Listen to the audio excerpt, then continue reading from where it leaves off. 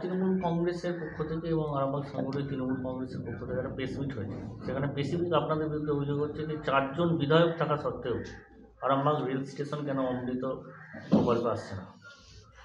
প্রথম একটা বিষয় বলতে চাই যে যারা কিছু খবর রাখে না, যাদের কাছে কোনো খবর না থাকে তাদের ঘটা করে মিডিয়া ডেকে প্রেস কনফারেন্স করার কোনো অধিকার আছে বলে আমার মনে হয় না।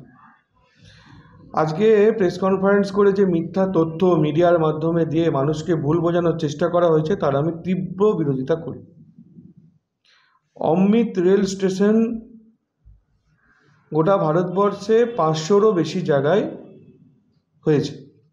তার মধ্যে আমার আরামবাগ সাংগঠনিক জেলায় তারকেশ্বর স্টেশনের মধ্যে পড়েছে। তারপরে তারকেশ্বর স্টেশন পড়ার পর আরামবাগ স্টেশনকে অমৃত স্টেশন করার জন্য আমি একজন বিধায়ক হিসাবে গত আঠেরো, এগারো দু হাজার তেইশ সাল, এই যে চিঠি, মাননীয় রেলমন্ত্রীকে করেছিলাম। তো উনিও আশ্বাস দিয়েছেন যে অমৃত স্টেশনটা একবারই শেষ হবে না, আবার তো একটা ভেরিফিকেশন করে তারপরে অমৃত স্টেশন হবে। উনি আশ্বাস দিয়েছেন যে পরবর্তী সময় আরামবাগটা নিয়ে চিন্তাভাবনা হবে এবং করার আশ্বাস উনি দিয়েছেন। তো এইসব খবর তো তৃণমূলের কাছে থাকে না। যাদের দোকান কাটা, এখানকার সাংসদকে তৃণমূল কংগ্রেসের। যদিও সে সাংসদ নয়, জোর করে ভোটে জিতেছে, কিন্তু অফিসিয়ালি তৃণমূল কংগ্রেসের সাংসদ। তিনি কি কোনো চিঠি করেছেন দিল্লিতে গিয়ে? সংসদে দাঁড়িয়ে শুধু কি ওই কল্যাণ ব্যানার্জির অশ্লীল ভঙ্গিমা দেখানোর জন্য সংসদে যান? নাটক করার জন্য সংসদে যান? তার কি কোনো ভূমিকা নেই? আরামবাগের মানুষ যাকে নির্বাচিত করেছে, কিছু তো ভোট দিয়েছে। তার কি কোনো দায়বদ্ধতা নেই? তার কি কোনো আরামবাগের প্রতি কর্তব্য নেই? সে কি কোনো চিঠি করেছিল? কিচ্ছু করেনি। বারবার বড়াই করে বলে যে মমতা ব্যানার্জি আরামবাগে রেলটা নিয়ে এসেছে। আরে কি করে নিয়ে এসেছে? উনি তো মাননীয় তৎকালীন প্রধানমন্ত্রী স্বর্গীয় অটলজির ক্যাবিনেটে ছিলেন। বিজেপি শাসিত ভারতবর্ষের রেলমন্ত্রী তখন ছিলেন মমতা ব্যানার্জি। তো বিজেপি তো এই রেলকে এখানে নিয়ে এসেছে। উনি রেলমন্ত্রী থাকতে পারেন। উনি কোন সরকারের অঙ্গ- সঙ্গে ছিলেন সেই সময়? বারবার যে বড়াই করে এখানকার নেতারা বলে, সেই তথ্যটা ওরা জানে না। তাই ভুলভাল বলে। আপনাদের মাধ্যমে আমি আপনাদের বলব, এই কপি যারা আজকে প্রেস কনফারেন্স করে, মিথ্যাচার করেছে, তাদের মুখে ছুঁড়ে মারুন, এই কপিটা এক। দ্বিতীয় বিষয়, ছিলাম বা আমার সভা থেকেও বলেছিলাম যে আরামবাগ মিউনিসিপ্যালিটি যে আরামবাগ যুব উৎসব পৌরসভার আন্ডারে সেখানে আঠেরো জন কাউন্সিলরের ইনভাইট থাকলেও, ডাক থাকলেও একজন কাউন্সিলরের নেই। কিসের জন্য? বিজেপি করার অপরাধে। এখন বুঝতে পারছেন? যে ঠেলায় না পড়লে বিড়াল গাছে ওঠে না।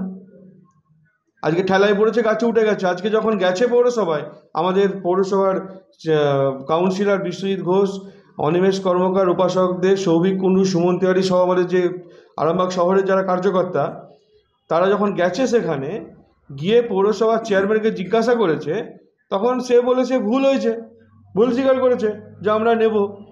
তোরা ভেবেছি কি আমরা ছেড়ে দেবো নাকি? অধিকার ছেড়ে দেবো? তাহলে মূর্খের স্বর্গে বাস করছে ওরা। তৃতীয় বিষয়, এই যে এইবারে পৌরসভা যে মেলা হচ্ছে, যুব উৎসবের মেলা, সেখানে চড়াভাবে টেন্ডার পাস করা হয়েছে। যারা ঘুগনির দোকান করবে, তারা বলছে, দাদা, সাতাশ টাকা প্লেট ঘুগনি বিক্রি করলে তবে আমরা লাভ করতে পারব। এক একটা দোকান পিছু অসম্ভবভাবে রেট নেওয়া হচ্ছে কার সাথে এই টেন্ডার যাকে পাইয়ে দেওয়া হয়েছে এত টাকা দিয়ে, কত টাকার কাটমানি আছে পৌরসভার জন্য? তার উত্তর এই পৌরসভাকে দিতে হবে। দিতে হবে? উত্তর দিতে হবে। তিন নম্বর বিষয়, তিনশো ষাট জন আরামবাগ যে আমাদের হসপিটাল তিনশো ষাট জনকে অবৈধভাবে কাজ দেওয়া হয়েছে ওখানে, যাদের কোনো বৈধতা নেই। তাদের বৈধতা কেন নেই? তাদের বৈধ না থাকা সত্ত্বেও কেন কাজ করছে? তারও উত্তর দিতে হবে। এই সর, এই যে পৌরসভা চলছে বা এই সরকার চলছে, তাদেরকে উত্তর দিতে হবে। এই চারটে বিষয় আর একটা বিষয় নিয়ে বলব, সেটা হচ্ছে যেটা আমরা এসডিওর কাছে যাব, এখন খানাকুলো আন্দোলন চলছে, যে বোরো জল, বোরো চাষের জন্য যে জল, যদি ইমিডিয়েট সেটা আমরা সংরক্ষণ করতে না পারি, তাহলে খানাকুল এলাকায় সমস্ত চাষির প্রচুর ক্ষতি হয়ে যাবে। সেই জন্য সরকারি আধিকারিক ওখানে বিডিওকে, বিডিওর কাছে আমাদের খানাকুলে ধর্না চলছে। আমি এসডিওর কাছেও যাব এই বিষয় নিয়ে। এই বিষয়টা যেন সরকারের পক্ষ থেকে দেখা হয়, তার জন্য আবেদন থাকবে, না হলে কিন্তু এর আন্দোলন বাড়তে থাকবে, চাষিদের কথা মাথায় রেখে। ধন্যবাদ। স্বাস্থ্যসাথী মান্যতাপ্রাপ্ত মাল্টি স্পেশালিস্ট ও রোগী পরিষেবার বিশ্বস্ত প্রতিষ্ঠান দেবনাথ হসপিটাল। রয়েছে ICU, NICU, USG, TLH, dialysis বিভাগ, ল্যাপারোস্কোপিক, শল্য। অর্থোপেডিক, ডিজিটাল এক্স রে বন্ধাত্ম চিকিৎসা সহ উন্নত চিকিৎসা পরিষেবার আরও একাধিক বিভাগ রয়েছে। ঔষধের দোকানও আমাদের ঠিকানা বাসুদেবপুর মোড়, আরামবাগ, হুগলি। যোগাযোগ number eight three seven three zero seven four double nine eight এছাড়াও যোগাযোগ করুন eight three seven three zero seven four triple nine এই নাম্বারে।